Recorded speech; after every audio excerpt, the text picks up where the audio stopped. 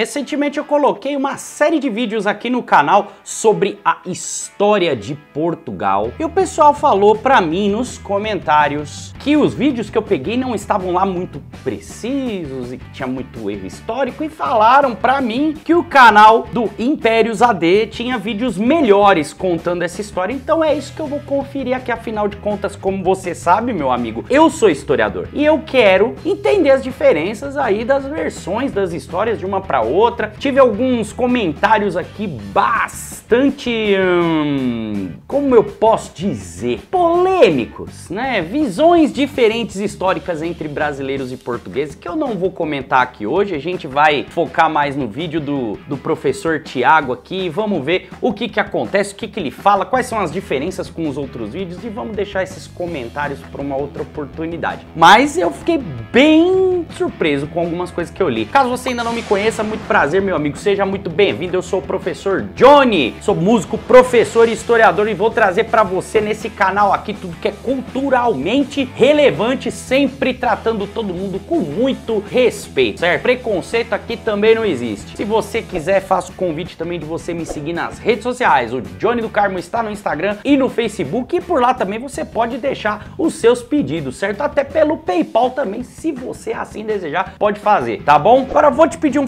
favorzinho antes da gente começar o vídeo. Vou pedir para você clicar no botãozinho de hypar que tá aparecendo aí embaixo aí do ladinho dos comentários aí, se você estiver assistindo pelo seu telemóvel, pelo seu telefone celular, não sei de onde você estiver. Clica aí para mim que isso ajuda demais o canal, o engajamento do vídeo vai lá pro alto. Mas agora, meu amigo, se prepara aí que a gente já vai começar, vem comigo. Eles foram os primeiros a navegar os oceanos e mudar a história da humanidade para sempre. Uma jornada mortal que nenhuma outra nação ousou começar. Mas que transformou um pequeno e pobre país da Europa no primeiro império global, colocando seu nome e legado no eterno panteão da história mundial. Então, cavaleiros, essa é a história de Portugal.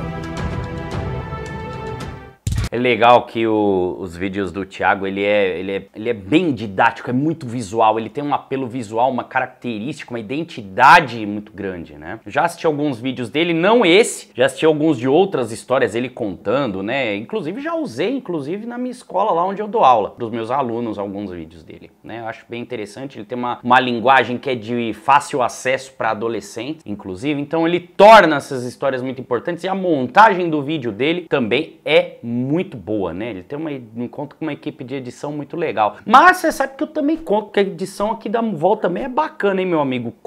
A Muvol faz uns vídeos aqui para mim, eles que cuidam das minhas edições e fazem um trabalho bom. Pode ajudar você também, viu? Fica esperto aí, você tá precisando de uma edição no seu vídeo aí para ajudar a dar uma alavancada nas suas redes sociais, para fazer o pessoal conhecer melhor a sua marca, a sua empresa, chama a Muvol, tá bom? O link tá aqui na descrição. Mas agora vamos voltar aqui para a história de Portugal, meu amigo. Vamos lá.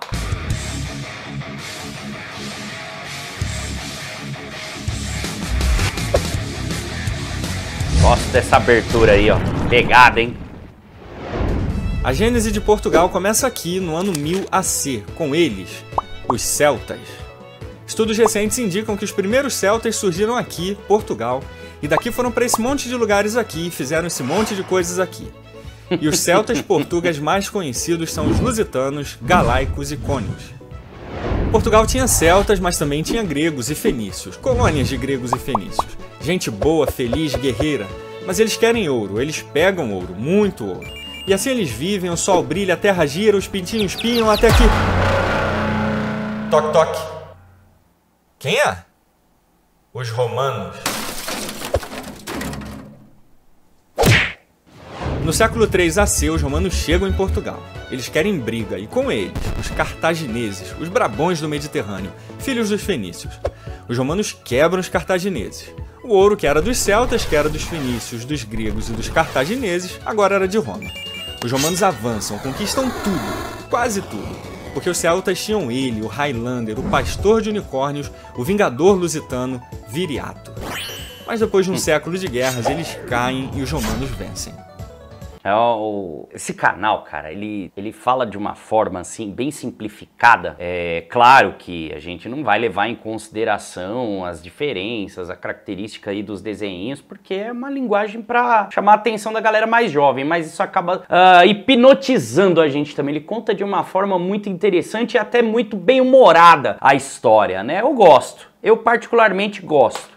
Eles criam uma cidade romana, a cidade romana, aqui, e chamam de Portus Cai, que significa Porto Belo, ou Porto Quente, ou Cais do Porto, ou Porto alguma outra coisa, mas que um dia Cavaleiros se tornaria esse nomão aqui, Portugal. Os romanos levaram o ouro, mas deixaram a língua, a lei, religião, arquitetura, agricultura e cultura que marcariam para sempre o povo e território português. Mas Roma cairia no século V e Portugal sofreria uma outra invasão, dos bárbaros germânicos, principalmente dos suevos e visigodos. Eles destruíram tudo, menos isso aqui: o cristianismo. Agora... É, os, o, cristianismo é uma parte muito importante da cultura portuguesa. Isso é muito característico e a gente estuda muito isso no Brasil também, né? Até porque o Brasil é, também faz parte desse mundo cristão que teve início aí na, na, época do Império Romano, né? Claro que Jesus não era romano, Jesus era judeu e tal, mas a gente sabe muito bem a influência que essa religião teve e como ela se espalhou pelo Império, por todo o Império Romano e as marcas que ela deixa aí em todo o território em que os romanos passaram. Agora os bárbaros eram cristãos. Mas os suevos eram um pouco mais cristãos que os visigodos, que invadiram os suevos porque eram mais cristãos que eles. E assim eles viviam, brigavam, guerreavam, invadiam e lutavam até que de repente eles fizeram as pazes e ficou tudo bem. Ufa, que alívio. Toque, toque. Quem é? Os muçulmanos. No século VIII, uma invasão quase infinita de mouros e árabes tomam a Península Ibérica de assalto, deixando os cristãos sem chance de reação. Eles tomam tudo menos essa região aqui, o Reino das Astúrias.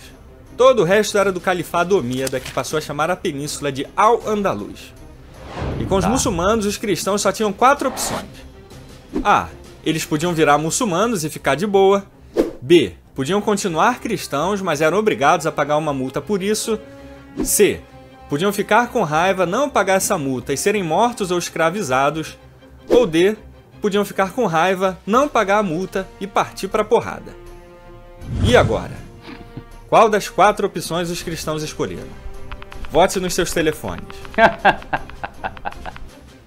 É legal, essa característica engraçada, assim, bem humorada dos vídeos do Thiago é muito bom, cara. Isso é uma baita sacada e, pelo menos na escola, né? Esses vídeos fazem muito sucesso, apesar de às vezes ele usar umas linguagens um pouco, assim, chulas, né? Sabe? Um palavrãozinho aqui ou ali, mas isso pra mim né, é o menor dos problemas, sabe? Não tem problema nenhum. É... A linguagem dele é super fácil, né? Tanto que esse vídeo também é muito. Deu para perceber aqui que ele é muito mais simplificado do que a outra série do, dos vídeos que a gente viu sobre a história de Porto Portugal, que foi uh, no canal Globalizando Conhecimento, né? A gente vai vai faz, vai anotando as diferenças aí, né? Tanto que lá também são três vídeos, aqui são só dois, né? E vai ter mais um aqui, a gente vai co co conferir a segunda parte desse vídeo aqui na próxima semana, então já marca aí na sua agenda, meu amigo, separa um tempinho aí para ver o próximo vídeo aí que vai ser muito bom. Mas vamos continuar aqui. Com licença, posso ver a opção D de perto? Claro, fique à vontade. E assim começa a reconquista cristã em 722 AD na Batalha de Covadonga, liderados por um rei quase mítico, Dom Pelágio. E desse reino, vários outros reinos surgiram durante quase oito séculos de reconquista.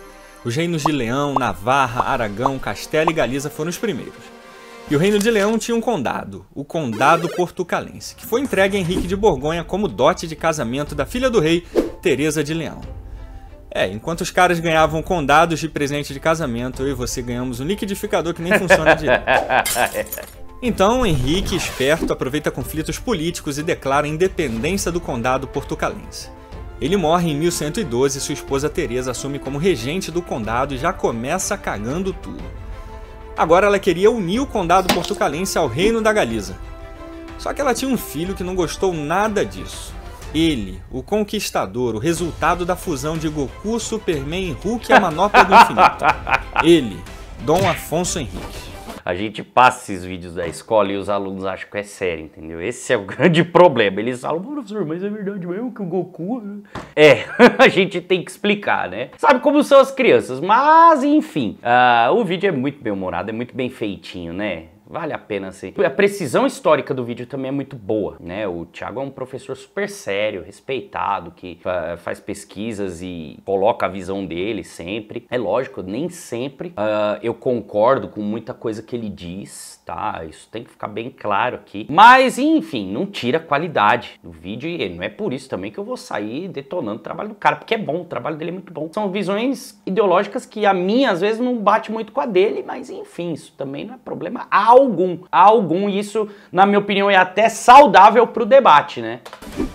Liderando barões portucalenses, ele enfrenta sua mãe, o reino da Galiza, na Batalha de São Mamédia em 24 de junho de 1128, na cidade de Guimarães, no norte de Portugal.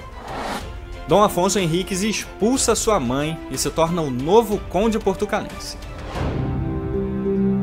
Mas 11 anos depois, ele se tornaria um herói português. Na lendária Batalha de Ourique, ele derrota uma esmagadora e numerosa força muçulmana. Mas ao lado dele estavam valentes e leais guerreiros, os Cavaleiros Templários. Eles estiveram presentes desde a fundação de Portugal, criando uma relação de lealdade com a nação que atravessaria os séculos. Com a vitória de Ourique, Dom Afonso Henriques foi aclamado rei de Portugal, e assim, em 1139, nascia o Reino de Portugal, com a dinastia de Borgonha. Mas Afonso ainda teria uma última glória: Lisboa.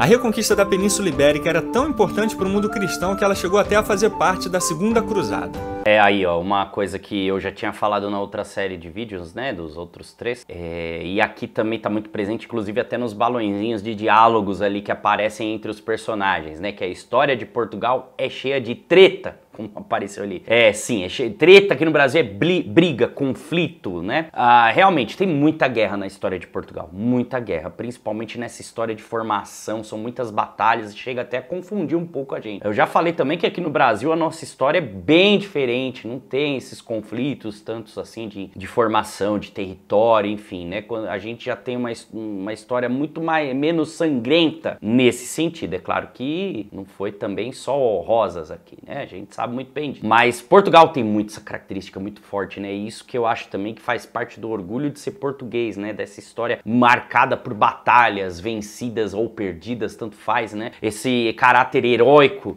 dos personagens históricos, isso é muito presente em Portugal. Aliás, esse foi o único sucesso dela. O cerco de Lisboa em 1147 foi um golpe decisivo na dominação islâmica, com o ato final em 1249 com a conquista do Algarve. Era o fim da reconquista cristã em Portugal. Era o fim da dominação islâmica. E Afonso III deve ter morrido rindo. Ele deixou Portugal livre dos mouros, unido como um Estado forte e estável, e ainda deixou ele, seu filhinho, o primeiro nerd português, Dom Dinis I. Amante e incentivador das artes, cultura e arquitetura, diplomata, fundador oficial da língua portuguesa e da Universidade de Coimbra, uma das primeiras universidades da Europa. Em termos simples, Dom Dinis I está para Portugal, assim como Dom Pedro II está para o Brasil. Se os dois existissem na mesma época, eles iam dominar o mundo fácil. É Dom Pedro II, que é filho de Dom Pedro I, aquele ou Dom Pedro IV de Portugal, né? Ele foi o imperador mais longevo da história do Brasil. O último também foi ele que sofreu o golpe republicano e ele é conhecido por ser um cara construtor, aquele cara que aprimorou muita coisa aqui no Brasil, que trouxe o progresso, o princípio de indústrias, ferrovias, enfim, né? Toda a tecnologia que existia de ponta na época, o telefone telefone. Ele trouxe o telefone para o Brasil ainda no século XIX, na década de 1880 ou 1870, me fala, se não me falha a memória. Então ele foi um cara muito importante para a história do Brasil também. E ele, dentre todos os reis da Europa, foi o primeiro a proteger e preservar o legado dos cavaleiros que ajudaram a criar sua nação, os Templários. Ciente da trama do Papa Clemente V e Felipe IV de França de confiscarem todos os bens dos cavaleiros, ele desafiou todas as bulas papais que ordenavam a prisão e execução dos templários, como a Ad Providam e a Vox Inetialitio. Os templários estiveram ao lado de Portugal durante todos esses anos, agora seria a vez de Portugal estar ao lado deles.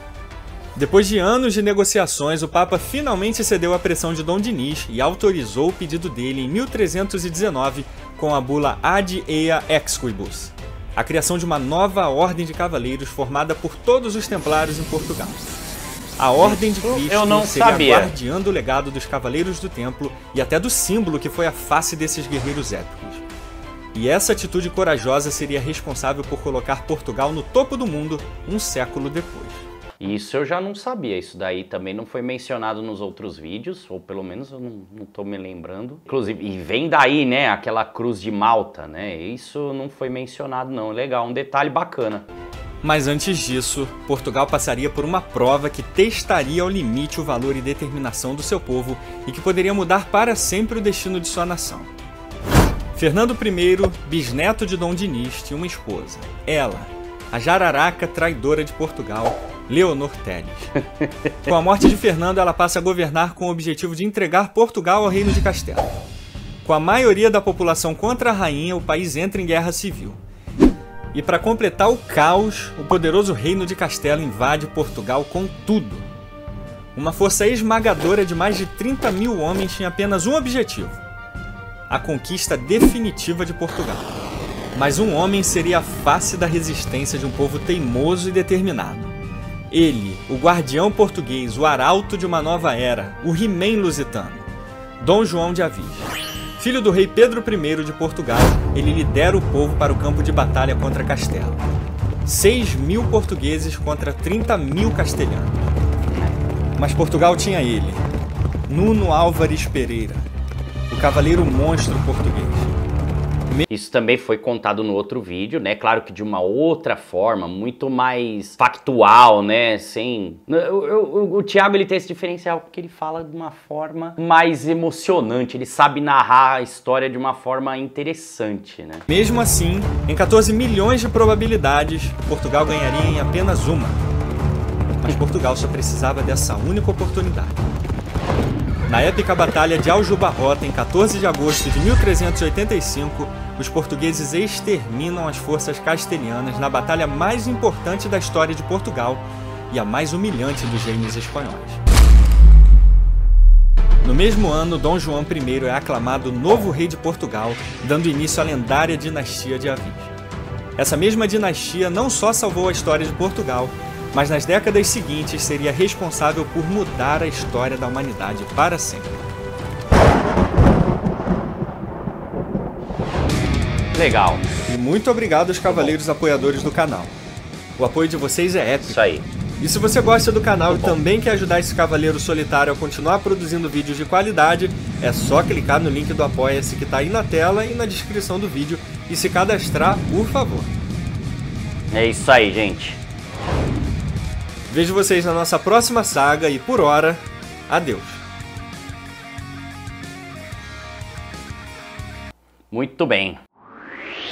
Na próxima semana a gente vai conferir a parte 2 desse vídeo, que tem sim uma continuação, ele vai falar do Império Português e aí a gente vai entender um pouquinho melhor aí como que vai se desenrolar essa história na visão, é claro, do nosso professor Tiago Braga, né? Então vamos entender já já. Então se você ainda não está inscrito no canal, meu amigo, se você não é meu amigo oficial ainda, torne-se amigo do canal do Johnny do Carmo clicando no botão de inscrição, não custa nada, não precisa pagar nada, é totalmente grátis e você vai ter vídeo todo dia. Não é todo canal do YouTube que tem vídeo todo dia não, viu meu amigo? Então vai colocando a sua inscrição e aciona o sininho das notificações, assim você não perde as novidades do canal, tá certo? Então aguarde, hein? Aguarde que essa história promete. E eu vou chegando pro ladinho aqui, ó, porque agora eu vou deixar você com um vídeo muito bom pra você continuar curtindo o canal do Johnny do Carmo. Tenha certeza que é vídeo legal, viu? Se você já viu, sabe do que eu tô falando e vai rever. Mas se não viu ainda, ótima oportunidade pra conhecer, enquanto o próximo vídeo, o vídeo de amanhã não chega. Então muito obrigado pela presença, por ter ficado comigo até o final e fui!